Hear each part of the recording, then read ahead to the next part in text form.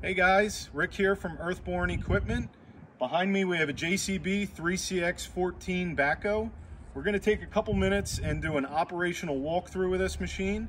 Uh, this machine is about 18,000 pounds, just under, and uh, has a dig depth in the back of 18.6 with the extending dipper. The machine runs off a 70 horse, 74 horsepower JCB EcoMax engine, which needs no DEF or DPF, which makes it really uh, easy to maintain. Okay, so we'll start around the front here. First off, we have the, the grill. You're gonna take your JCB key, the same key that opens the door, same key that starts the machine in the ignition. You can pop the front grill off uh, using that key. And then inside here, you have easy access to your battery. You have your battery isolator switch. Just a uh, quarter turn is easy to remove. You can take this with you. You can leave it in the machine, but this cuts off all the electrics to the machine. So good to use when you're uh, operating, if you're letting it sit for a little while, uh, or if it's super cold and you have a drain on the battery, you can disconnect that with that isolator switch. Okay, I'm gonna show you how to release the hood on this machine. Right in here, to the left of this brake, you have a hood pull. So you pull that, which will release the lock on the hood.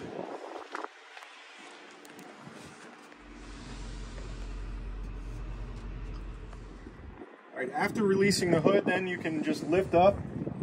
It's uh, air shock assisted. You'll be able to, to open up the hood just like that. Okay, if you need to access the engine compartment, we're able to raise these loader arms and lock it out with our safety, safety bar here. The way you do this is just push up on these clips, turn them, and then you're able to remove the safety bar. I'm gonna set this down here. We're gonna start up the machine, we'll raise the loader arms, and I'll show you where to put it.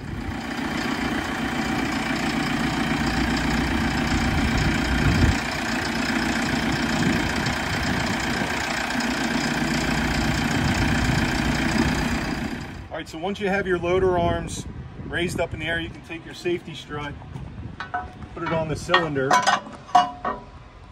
Okay, and then you have this clip here that you can feed this the rope through, the strap through, and tighten it down.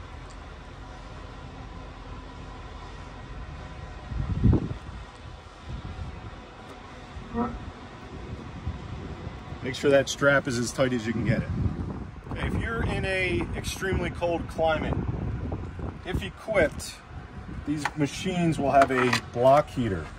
So it's a standard plug that you can plug in any outlet. And um, they recommend that you want to keep these plugged in for at least nine hours. So if you have the opportunity to plug it in overnight before you're using it, the next day, if it's extremely cold weather, you can uh, use the block heater, which is located right here on the driver's side. Okay, so with the loader arms up, you do have good access, easy access to all your filters to do your daily checks. Uh, please watch the other video, the, the daily check and maintenance video for all the different spots of where you can check. But on both sides, you do have easy access to a lot of the components underneath uh, the hood here. Yeah, yeah, this machine's equipped with street pads as well as dirt pads or dirt outriggers on the other side. So the way you would flip these, it's a, it's a little bit of a, you gotta muscle it.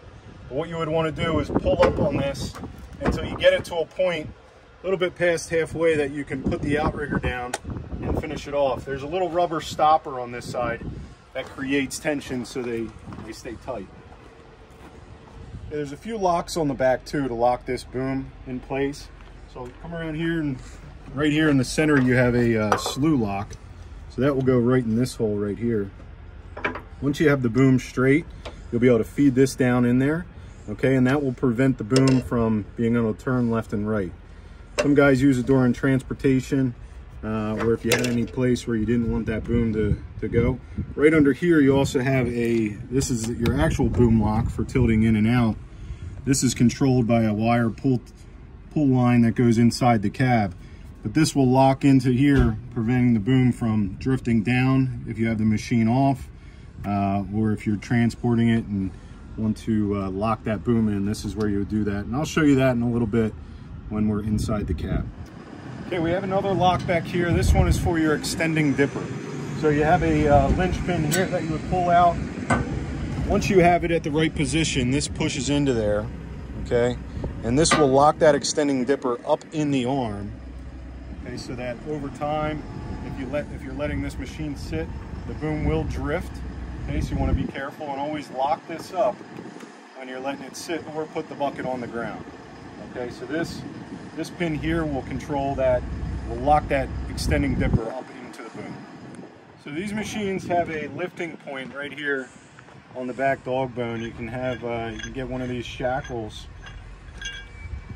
and basically lock it right on here.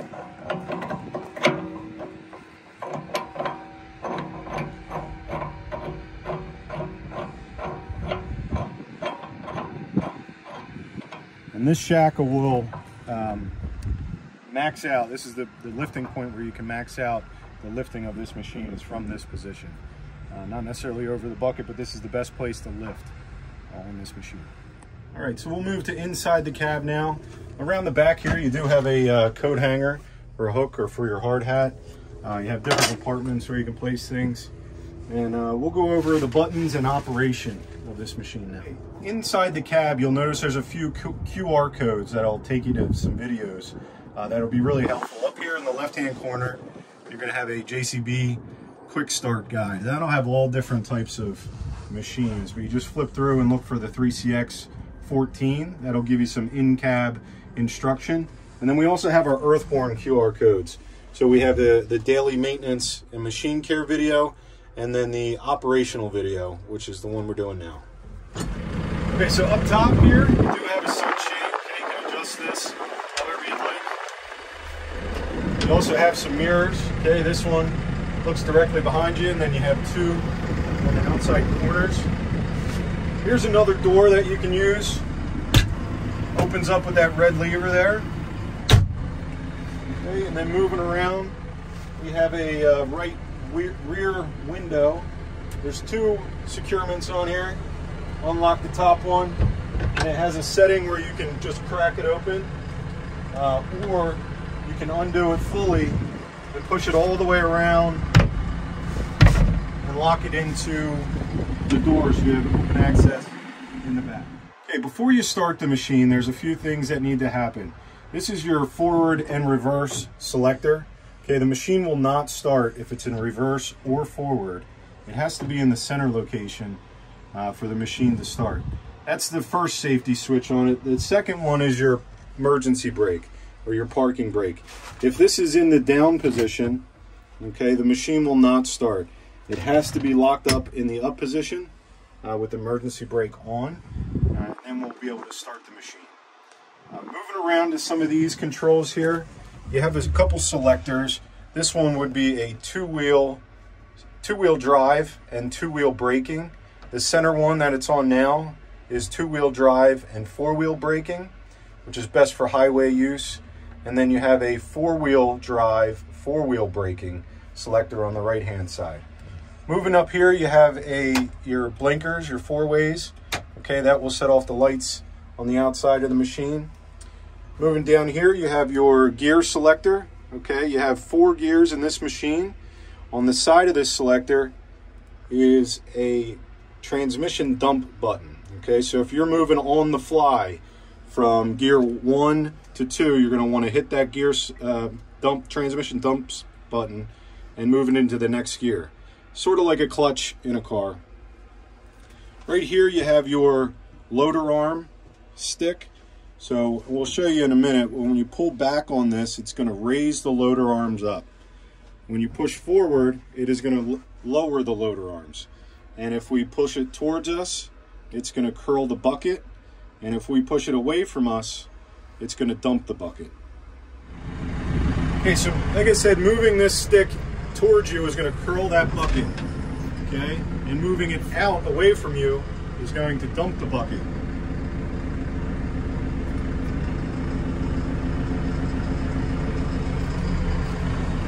Okay, so this machine is also equipped with a float option.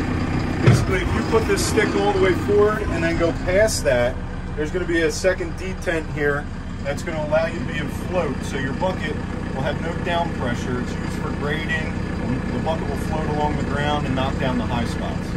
Okay, so down on the floor you have your accelerator pedal, then you also have your brake pedal. This brake pedal has an option to split the brakes so that you can brake the left side or brake the right side independently from each other. Okay, talking about the seat, we uh, have some adjustments you can make. The uh, seat belt you can pull out. You should wear this at all times. Lock that in. You have armrests on both sides. Underneath the armrest, they have these uh, little knobs that you can tighten to set the armrest where you would like. Okay, so you lock them into place, whatever feels comfortable for you you're operating. And then you have a series of different levers down here where you can adjust the seat.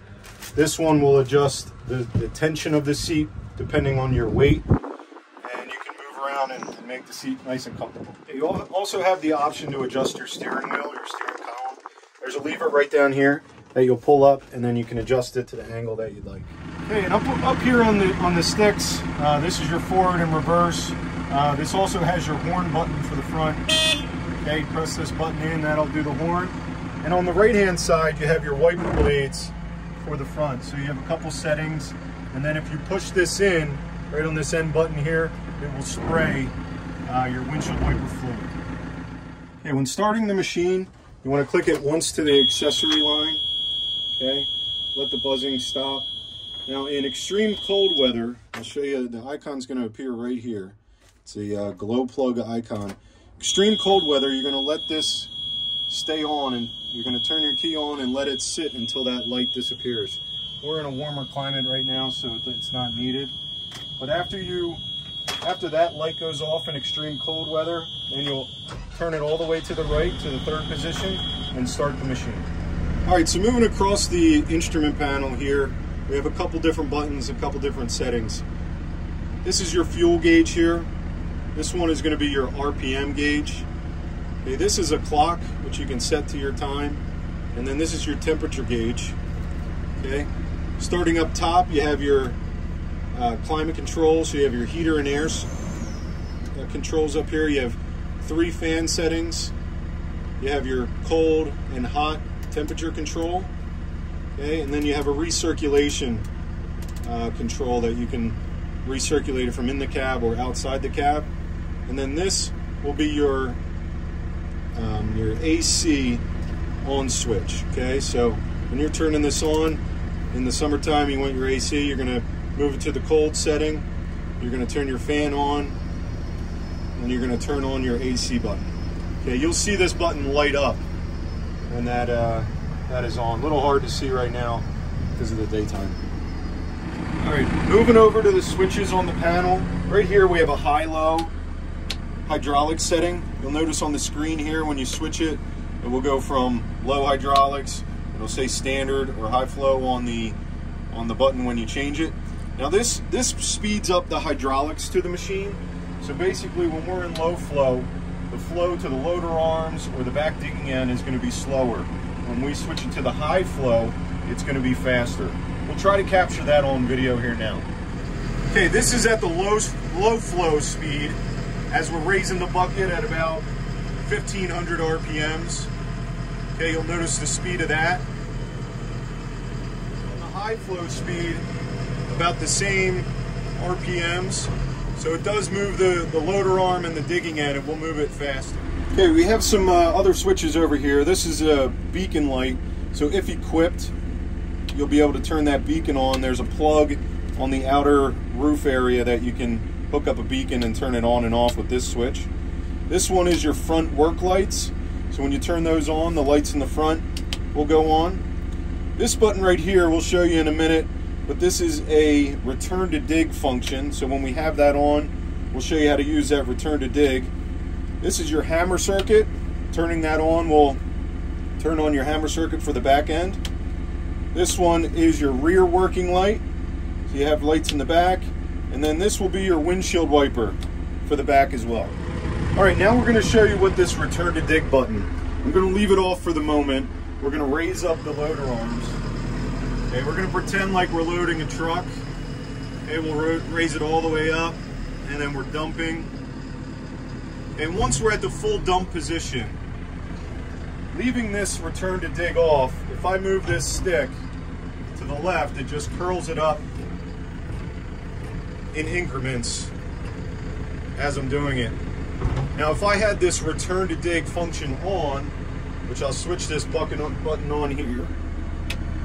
Okay, now when I move this stick, it's gonna have a, a position where it's gonna hold itself there. So you have to be in the fully dumped position. And then when I move this all the way over, I can let go of the stick, it's gonna automatically level that bucket out so that it, when it, we lower the loader arms, it comes down to the level location on, on the ground. Okay, and then back, back here we'll have a hand throttle for uh, increasing your RPMs or decreasing your RPMs while you're using the digging end. Now one thing I want to point out, this one was left in say a mid mid throttle position when the machine was turned off. So if I go to increase that throttle, you're going to see that nothing happens. And what you have to do is you have to reset it to the top position and then when you pull it down, it's going to increase your throttle. Okay, so if you find this not working, the throttle may have been left in a mid throttle when the machine was turned off, which you'll just have to reset it at the top before you increase the throttle again. Okay, one more button down here. We have, uh, it's two arrows, one going up, one going down. This is a loader quick hitch function. This machine isn't equipped with one, but if you did have a loader quick hitch on the front, you would hold this button down and you would hear the beep. That would know that you, let you know that your auxiliary hydraulics are being routed to the quick hitch and um, that your, your functions will unlock the quick hitch. Um, so this button won't be used if it's a standard pin-on bucket. Okay, now we'll move around to the back. Right here on the side of your seat, you do have a lever, and this is how you unlock your seat to then turn around to the excavating end. Okay, on the back end here, you do have a back window that can fold up above your head. You have two thumb clips on either end. You want to push both of them down and pull back towards yourself and then it'll be uh, air, air assisted up to above. So you have nice visibility out the back. You can communicate with your other operators. Okay, down here you do have a storage uh, area, storage box. Keep your owner's manual in there. There's also an option to keep it in the back of the seat. Uh, but nice storage area. On the floor here, you have a, a rocker switch, uh, foot switch for your uh, extending dipper. So if you push back on it, we'll show you this in a minute, push back, it will uh, retract the dipper. If you push forward, it'll extend the dipper. And then moving around to this side, we have your hammer circuit. Okay, this will engage the hammer circuit when you step on that uh, button. Okay, you have two wobble sticks here. Okay, this is for controlling the backhoe. These are set up in SAE operation. So I'll show you those in a second. Down here, if you can get get all the way down here, there's a boom lock. Okay, this is that boom lock we talked about earlier in the video that's connected to that cable. So if I wanted to unlock that boom, I'm gonna pull my boom all the way back till it's farthest location. Then I'm gonna pull on this cord, which is gonna raise up my boom, and then I can push the boom forward and unlock it. Okay, it's just a mechanical operation. There's no electronics involved. So you just need to pull on that cord and then move your boom forward to unlock it. All right, right in the center here, you have your outriggers.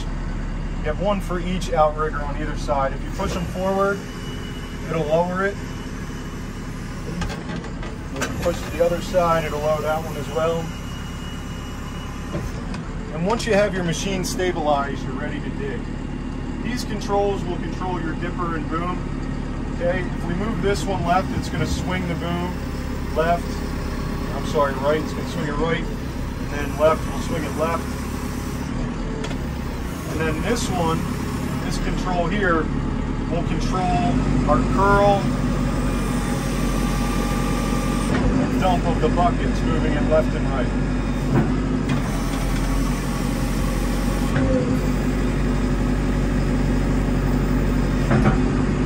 Pushing this one forward will move our dipper out or up Okay, and pulling it back in will move the dipper in. Same on this control, moving this forward will move the boom down, and pulling it back will move it up. Okay, so just once again we have Right, we'll uh, dump the bucket. Left, we'll curl the bucket. Up, we'll raise the, the uh, dipper. Pulling it in, we'll bring the dipper in. And then on the left-hand side, we have your swing, which is left and right.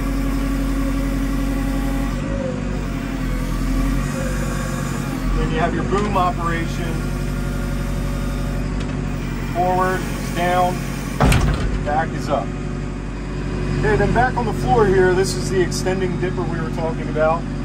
When we push it forward, it's gonna extend the dipper out, okay? And when we push it with our heel, it'll bring it back in. All right, thanks guys. That concludes our JCB 3CX operational video. Inside the cab, you'll notice QR codes that say Earthborne on it. That's where you can find this video as well as a daily maintenance check video. Uh, please take a look at those so you can keep your machine in top running condition and feel free to call us anytime with any questions, uh, service, parts, anything we need. All of our numbers and contacts are in the binder that we supplied with you. Uh, thanks for watching.